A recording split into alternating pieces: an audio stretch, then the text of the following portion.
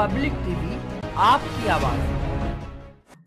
थाना civil lines इलाके के मिशन कॉलेज में चल रही प्रदर्शनी पर तत्काल अंकुश लगाए जाने की मांग को लेकर बुधवार को शिव सैनिकों ने कलेक्ट्रेट पर प्रदर्शन किया।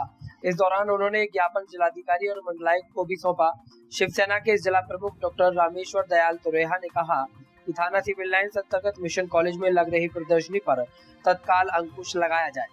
उन्होंने कहा कि बच्चों के स्कूल खुल गए हैं, ऐसे में बच्चों की पढ़ाई बाधित हो रही है। प्रदर्शनी की अनुमति 20 जून तक थी, जो अभी भी प्रदर्शनी चल रही है।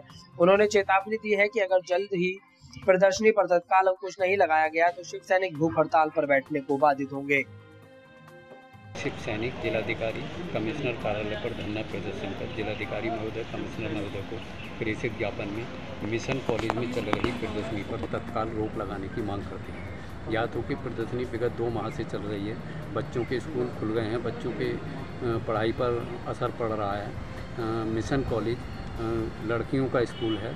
लड़कियों को आने जाने में असुविधा का सामना करना पड़ता है। पढ़ाई बाधित होती है यातायात बाधित होता है और सुप्रीम कोर्ट के निर्देशों की अवहेलना करते हुए प्रदर्शनी में देर रात दो बजे तक डीजे बजाया जाता है। इससे पहले भी तो आप ज्ञापन दे चुके हैं क्या? भी हमने ज्ञापन दिया है। डीएम साहब को भी ज्ञापन दिया है। एडीएम साहब को भी ज्ञापन दिया है।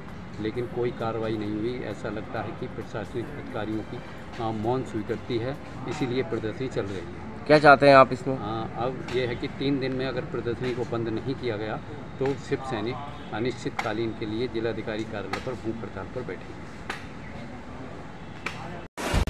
पब्लिक टीवी आपकी आवाज़।